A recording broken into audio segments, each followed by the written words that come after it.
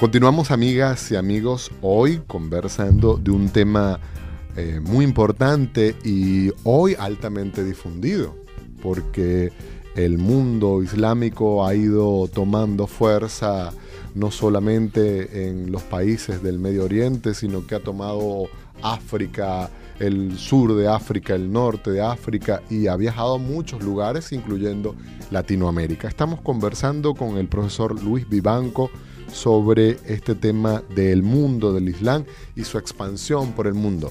Gabriel, queríamos hablar en este momento también de, los logros significativos. Claro, claro. Yo eh, he sentido una gran atracción al mundo islámico, mucho más que por el contenido de su religión, que como tú sabes, Alexander, yo soy agnóstico respecto a la, misma, a la mera existencia de Dios y yo no acepto muchas de esas doctrinas, pero sí me atrae mucho los grandes logros civilizacionales del mundo musulmán, el cero eh, la, medicina, las mil y una noches. ¿Cuáles han sido los, las universidades, ¿no? Las universidades, este, ¿cuáles han sido los, logros civilizacionales del Islam? Bueno, en eso habría que decir una cosa interesante. A diferencia del cristianismo, que no hay una impetración al creyente a que se eduque, se, se culturice, se instruya, en el Islam sí lo ordena. La persona tiene que instruirse. Y el profeta dijo, Itlub al-ilm wa sin, es decir, busca el el conocimiento, la ciencia, hasta la China. Y cuando los musulmanes se fueron expandiendo y encontraron muchas ideas y, creencias y sistemas distintos de los que ellos tenían, aunque venían del desierto y eran gente muy sencilla, se dieron la tarea de aprender eso, de aprender esos idiomas.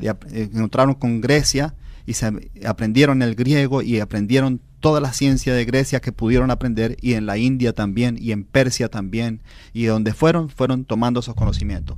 Y esos conocimientos que tomaron no, no solamente los, los adquirieron sino que los eh, acrecentaron con sus propias investigaciones. Eh, crearon eh, a partir de la matemática griega su álgebra en la cual destacaron grandes matemáticos árabes este, de los mm, conocimientos especulativos griegos, ellos tuvieron también sus ramas filosóficas, sus escuelas filosóficas, y hubo grandes filósofos del Islam como Avicena, Al-Farabi, eh, Ibn Rushd, eh, conocido en Occidente como Averroes, este personaje, por ejemplo, está en la escuela de Atenas, creo que es de Rafael, cuando Aristóteles señala hacia abajo y Platón hacia arriba. Hay un personaje, creo que es en la esquina inferior derecha, que mira desde arriba y tiene un turbante, ese es Averroes. Así que si alguna vez eh, lo ves en, una, en un libro de arte Alexander, ya tú sabes que ese es Averroes el que está ahí. Así es. y, y provenían de todas partes del Islam, o sea, no estaba localizada una cultura en un centro, sino que, por ejemplo, Averroes era español, al-Ghazali era persa, Avicena era de lo que hoy sería Unión Soviética al sur, en Tayikistán, etc. Es decir, que era una cultura que iba de un extremo a otro, eh, ese, ese ánimo de, aprender. Y eso también hizo que crearan grandes escuelas y, universidades. Las dos primeras universidades del mundo son musulmanas. La primera fue en Marruecos en 859, en la de Karawiyen, en Fez, la ciudad de Fez, y la segunda fue la del Cairo, la Universidad el, ah, Al-Azhar, eh, que fue edificada en 970. Y cuando yo estaba muchacho, en el año 1970, se cumplieron mil años y hubo un gran congreso allí. De modo que esas dos primeras universidades fueron antes que en Europa y se enseñaba a nivel superior lo más que se sabía en matemáticas, en medicina, en filosofía y en otras ciencias. Ahora, hay, si se quiere, del mundo occidental un intento de reducir al mundo musulmán al tema meramente religioso, ¿no? Y eh, contamos con muy poco aprecio a esa otra dimensión de la ciencia, de la cultura, del desarrollo de la tecnología que ha tenido el mundo musulmán. Hay poco aprecio en general del mundo occidental hacia eso.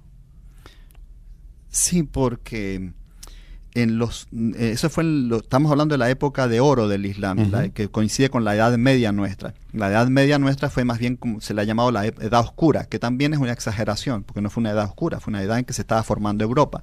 Y muchas de esas cosas con que Europa hizo el renacimiento de esos conocimientos en medicina en matemáticas en filosofía vinieron o, o fueron aportados por los árabes y los musulmanes no ahora bien hubo un momento en que Europa despierta y el, mundo musulmán va a declinar porque vienen grandes invasiones de los mongoles, por ejemplo, de los tártaros y de otros pueblos de Asia, que cayeron tanto en Europa como allí. En Europa atrasaron a lo que fue Polonia y Rusia y en el Medio Oriente a, los pueblos árabes y destruyeron los califatos y, destruyeron el poder musulmán. Y eso atrasó muchísimo al, al imperio, o sea, al, a la civilización islámica. Vino el imperio turco, los turcos no son árabes, los turcos vienen del centro de Asia y impusieron un yugo bastante mm, despótico y eso atrasó mucho al Islam. Nada más que usted aclaró eso, porque los maracuchos suelen llamar turcos a cualquier persona que hable árabe, y es erróneo. Sí, sí, sí, Lo que pasa es que a principios del siglo XX, cuando hubo una gran emigración de, los, de Medio Oriente hacia acá, eso era el imperio otomano, turco-otomano. Entonces, todos los que venían de ese imperio traían el pasaporte, que era, ellos inventaron el pasaporte, los otomanos, los turcos otomanos, porque el, se llamaba el imperio de la sublime puerta, que es Constantinopla. Entonces, para pasar la puerta, daban este, esta cosa, este papel que se llama el pasaporte, ¿no? Entonces, cuando venían con su pasaporte decía imperio turco. Entonces, todos fueran judíos, armenios, árabes, griegos, todos eran turcos. ¿no? Ahora, inevitablemente, cuando hablamos del tema del Islam, pues en el imaginario de muchas personas viene a la mente eh, las torres gemelas siendo impactadas por, por el avión, eh, por los dos aviones, la imagen de Osama Bin Laden, etcétera. Y mm, los historiadores pues han hecho grandes estragos para abordar con bastante análisis la relación entre el Islam, eh, la política y la violencia. ¿Cómo ha sido la relación de la civilización islámica con el uso de la violencia? y, con, y su manifestación a través de sistemas políticos. Bueno, este sí es un punto difícil, puesto. Este, una cosa que caracteriza a la civilización islámica es en la cuestión de los valores que inculcan a, los musulmanes, es el valor de la dignidad. Este, y es, eh, a diferencia del cristianismo, por ejemplo, que dice, si te pegan una mejilla, pon la otra mejilla, en el, musulmán no debe dar ese ejemplo, debe dar un ejemplo de resistencia. Y eso le ha hecho ser una de las civilizaciones de más resistencia contra cualquier tipo de invasión o injerencia de otros pueblos allí. Decía Mahoma que el, musulmán no debe estar dominado por otros, por otros pueblos, por otras civilizaciones. Eh, entonces eso le ha llevado a resistirse a cosas como el moderno colonialismo de, Gran Bretaña, de Francia, ¿no? Y, ellos, los británicos y los franceses hicieron imperios en África y eso lo podían dominar bien hasta una cierta zona. Pero cuando eran los países musulmanes les costaba mucho porque había una resistencia a ser dominado por otro.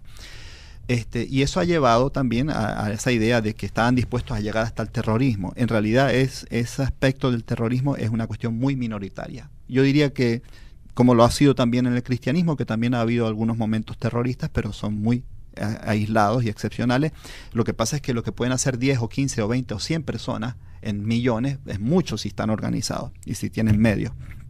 Pero el mismo Corán dice este, que, que no debe eh, hacerse ninguna acción contra alguien, una acción violenta eh, de la comunidad contra alguien sin un juicio, ¿no?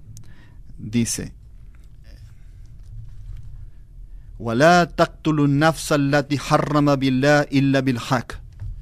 Eso en la Sura Al-Anam, la Sura sexta del Corán, que significa que si va a juzgar a alguien, si va a condenar a alguien, si va a castigar a alguien, tiene que haber un proceso y un juicio. Y por eso es que los terroristas están básicamente equivocados, al menos desde un punto de vista del Corán. No, pueden arrogarse o tomarse la justicia en sus manos de esa manera, como hicieron con las dos torres. Ahora, hay un, elemento también como importante en esta dinámica de la convivencia y que también nosotros como eh, desconocedores del mundo islámico en general, eh, que nos llegan son los aspectos informativos, noticiosos que les interesa a algunos medios difundir cómo es la vida cotidiana en, los, grandes países, en los grandes pueblos musulmanes. Porque tenemos lo que, lo que entendemos una violencia desmedida hacia la mujer, eh, unos controles excesivos e incluso eh, ejecuciones extrajudiciales que las vemos ya eh, en perfecta contradicción con el Corán, con este fragmento que usted nos ha leído. Esa inquietud la vamos a dejar para poder tener la posibilidad de desarrollarla con más tiempo en, el siguiente, en la siguiente parte de este programa. Estamos eh, Gabriel y yo conversando con el profesor Luis Vivanco, profesor de la Escuela de Filosofía de la Universidad del Zulia.